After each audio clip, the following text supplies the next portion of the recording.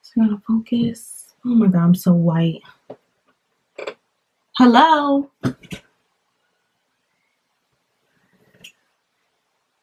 Okay.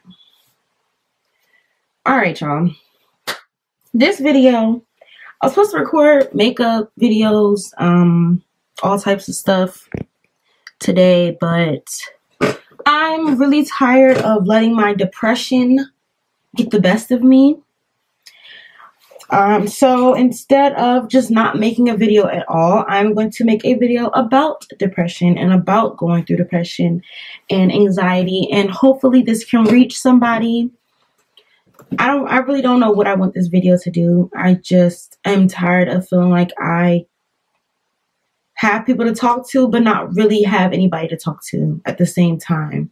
And if you have depression, you know what I'm talking about. Like anybody, anybody that has depression can understand when people try to help you and either you just don't know how to internalize the help. Like I don't know how to accept it.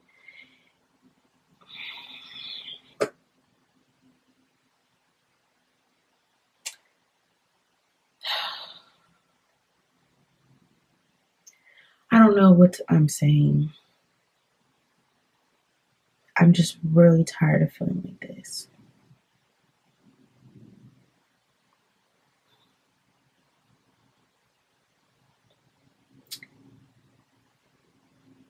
Alright, let's start over. What's up, my beautiful butterflies? Girl can't even fucking say butterfly. What's up, my beautiful butterflies? It's your girl Ryan, and I'm back with another video. Period.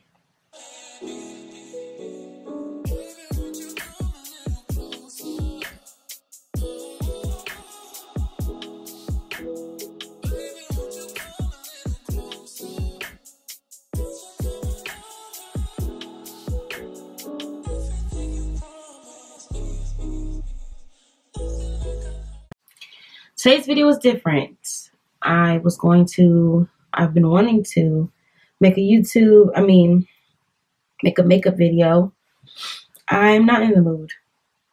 I just don't want to come on here with a fake, um, happy attitude. I don't know how to do that. I'm depressed. I've suffered from depression for a long time. Um, I'd say maybe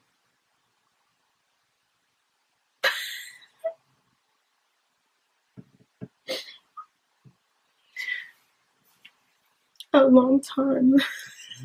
I've never, never thought I'd be the one to come on social media and cry. But that's what you gotta do. Um, suffer from depression for a long time and anxiety. I used to just think that that's how you're supposed to feel. Like, not depression, of course. I know what depression was. I'd say maybe since I was 13, maybe 12. Um, I thought, like, as far as anxiety goes, I thought that your mind was always supposed to race. I thought, like, my my mind will race so hard that my brain will start hurting. Like my head, it'll give me headaches. And that's how I feel right now. And I'm, I don't want to be the one that comes on social media and cries. And because that's so cheesy to me, but sometimes you just need to get it out. And I feel like I'm burdening the people around me because they've been around for such a long time that they know about my depression. So I've been talking to them. I'm 25, so I've been talking to them, the same people, about my depression for the last 10 plus years. And it's just like, I know they're tired of hearing it because I'm, I'm depressed about the same stuff body image, money, relationships. It's always the same stuff. I mean, is it not for everybody else? Like, if, if it's not one thing, it's the other. If it's not the other, it's all of it. And I just feel like, I just feel like I am a burden and I try to cut people out of my life that I feel like aren't helping anymore or are adding to my depression or body image issues. And the common denominator in all of this is me. And it's like, do I just cut myself out of the situation? Like, I'm so busy cutting everybody else off. Why don't I cut myself off? If you know what I'm saying. And it's like, I have a two year old now, so I can't do that anymore. I have no option of doing that anymore like I used to. And I feel like I'm supposed to be here for a reason. It's just getting there is the hardest part. I don't, I can see my reason. I can see my YouTube channel flourishing. I can see myself in love. I can see myself being a great mother. I can see myself in a big house. But at the same time, the path that's getting there is so hard. And I'm like, is it really even worth it? How long is this about to take? And I know you can't rush perfection. You can't there is no such thing as perfection, but you can't rush stuff. But I'm just like, when am I going to get to the good part? I'm so tired of being broke. I'm so tired of being alone. Or I'm not even alone. I have a boyfriend and I love him and he loves me and I just feel like I'm messing it up. Like, and it just circles back to maybe I'm the problem. I am the problem. My best friends, my son's godmother, my son's aunt, we're not friends anymore. And that was my doing because I felt like the way that I was being treated or the things that were being said to me weren't what a best friend is supposed to say to somebody. And I felt like I'm not trying to put my business out there. I'm not trying to put our business out there. I'm not trying to talk shit about them. Should I fucking miss them? To be honest with you, I just thought I was doing something good for myself, but the way that it's being carried now, it's kind of fucked up on their part.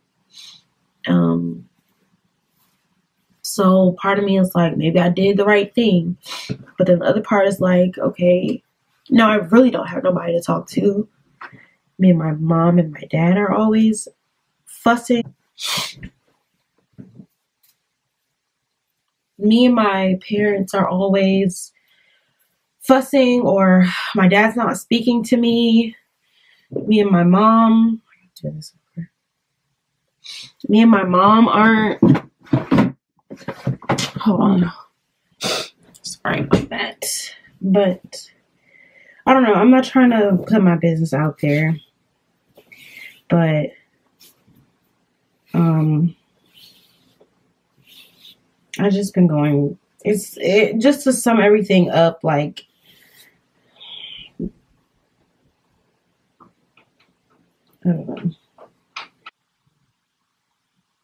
It's to the point where I don't even want to be a mom.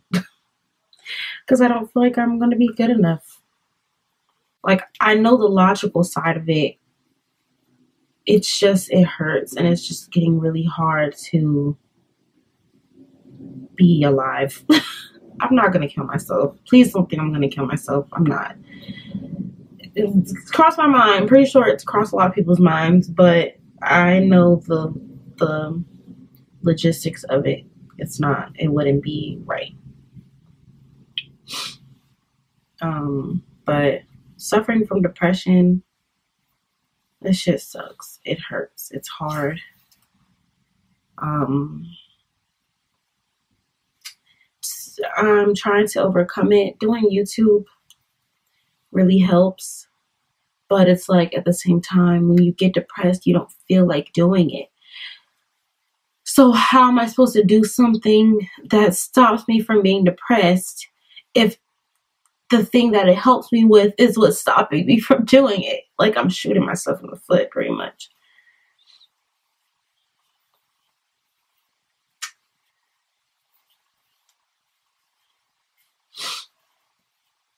I'm just ready to be am I ready to be successful? Can I can I really handle that the way that I'm acting? I think I am ready to be successful. I'm ready to get out of this funk. I'm ready to be me. I'm tired of being this sad ass bitch. I am not sad. I am a very happy person.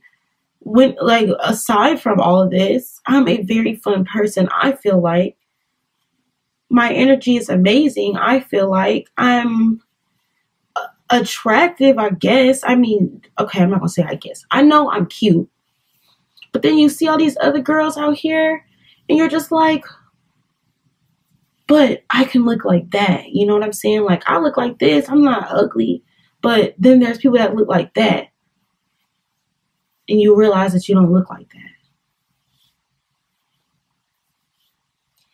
I got a referral yesterday from my doctor for a breast reduction surgery. I feel like that's the start. Like you know I'm saying? Like I can see the I can see the success. I can see myself being happy with myself. It's just taking forever to get there and I'm just tired of getting there. I'm ready to be there. Like once I get this breast reduction surgery, that is that's step one of being body positive. That is step one of building my physical confidence. Once my YouTube jumps off like I wanted to, that is the end of my financial burdens. Once I move out on my own and I can just come visit my parents when when we miss each other and not have to stay here, that is the end of us going back and forth like I can see the I can see the success. It's just getting there is hard.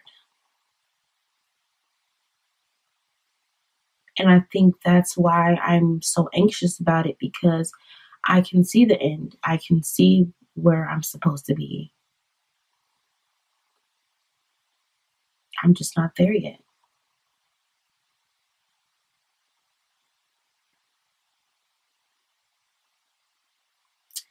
I don't know. This video was kind of pointless, but it wasn't at the same time because I needed to get this off my chest without talking to somebody directly and without getting advice back. Because sometimes you just need to talk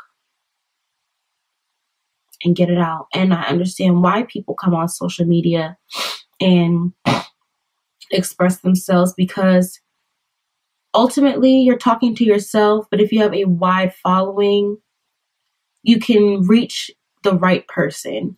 And also at the same time, you're not burdening burdening the same people with your same problems. So I get it. I get why people talk to a camera. Because at the time that you're letting it out, you don't have somebody trying to give you advice or not really understanding you or whatever the case may be. And by the time you publish it, you've gotten it all out so you feel good. And then when you publish it and that right person sees the video or those right comments come and, and, and you know, under your video, you get the right love and you can filter out the wrong love if you want or the hate. I mean, not the wrong love, but well, hate is a form of love, to be honest with you. Hate is a form of love, so I would say the wrong love. And um, by that time, you would have calmed down and get your thoughts out. I really don't even know why I I know I know why I'm making the video, but I'm still going through depression, so it's not like it's not like a how do you conquer depression because I don't damn know. I don't know. Help me. I wish I knew. And when people say, oh, just look deep into yourself and just see the things that you love about yourself and the same things that I love about myself, not everybody loves. and I'm so focused on wanting people to love me when they don't love me back, I'm like, well, what am I doing wrong? Because what makes me happy is making other people happy. And when I don't make them happy, then I'm not happy because I'm not doing what my, what I feel like I'm supposed to be doing. And I don't have the means to make myself happy right now. So I can't make myself happy. I'm fucked up, like broken. So I can't make my boyfriend happy, even though he says that he's happy. I know I'd be stressing him out. I'm just afraid that one day I'm gonna stress him out too much. He's just gonna leave because that's happened before. And I know when he tells me like I'm not like everybody else, I've heard that before, but I can feel it. It's different now. Like I really feel like he genuinely won't go anywhere. But I'm just afraid that I'm gonna stress him out too much. It's like, okay, well if he loves you that much, then you're not gonna stress him out too much. You're not gonna go anywhere. But you think that about somebody and then they go. And I don't want to insult him by not giving him the benefit of the doubt, but it's like when you're with somebody who's broken, who's been giving people the benefit of the doubt, it's just hard to keep giving people the benefit of the doubt when that's all you've been doing.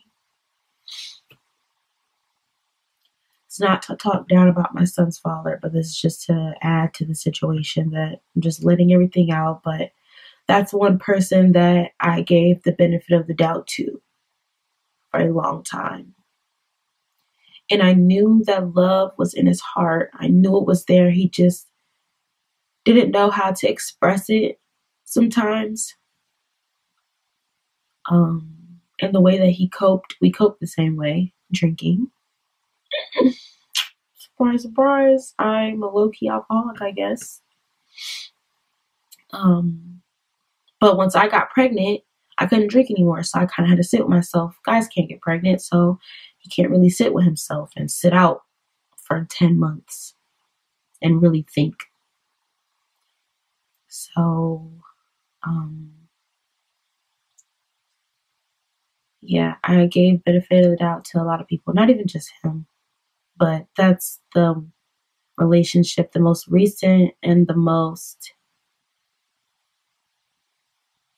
of that's the most that's the relationship that had the most effect on me and how I am now. Besides my dad. My dad's a whole nother story.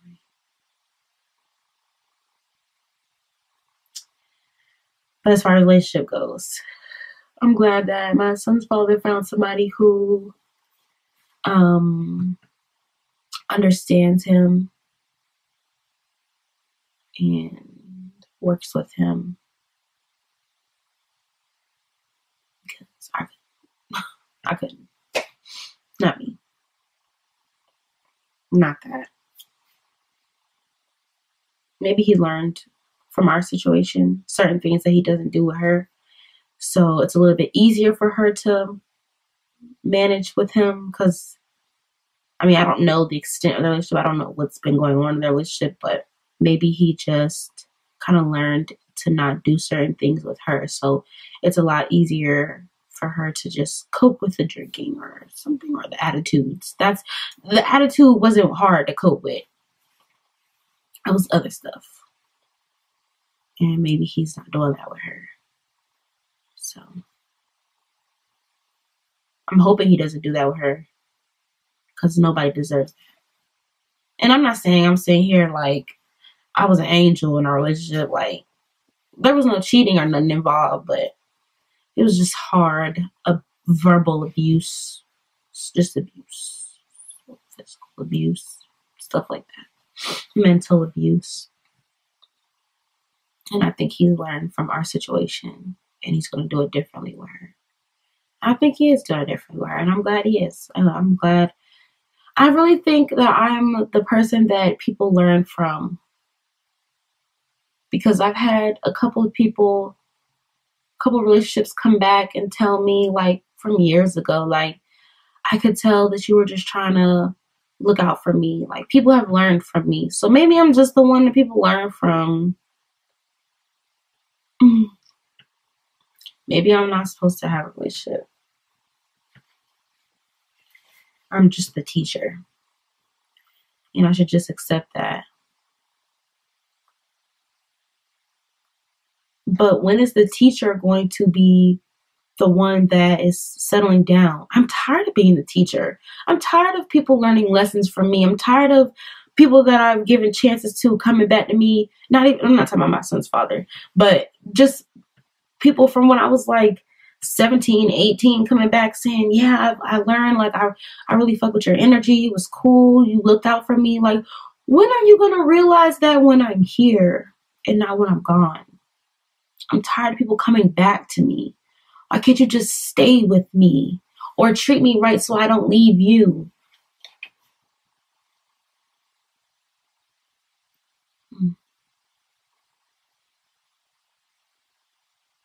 Same with friendships. I, for as long as I can remember, I've been pretty enough to be cool.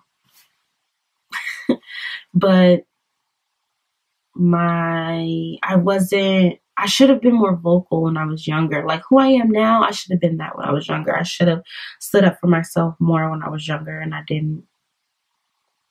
I feel like a lot of people wouldn't have taken advantage of me of my kindness back then. And yeah, it sucks. I don't know. This video can go on forever. All the shit that I got going on in my head. I don't want to keep y'all. I mean, we could talk about this again, but I just, I'm just so tired of feeling so stuck. I just feel stuck stuck in my emotions, stuck in a roller coaster, stuck in a cycle. I just want to get out of the cycle of nothingness.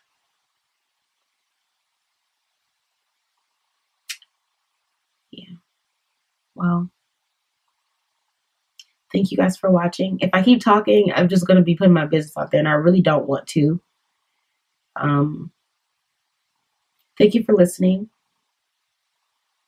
hopefully this gets some views. I don't know. I'm just i'm i'm not going to keep making videos for views. I'm going to make videos because i want to. I am happy though. Positive news. I have a new setup as you can tell. I have soft boxes and a black backdrop. And i feel like i don't know if what i can see i don't look as washed out as i did with my ring light. Um and it feels more professional.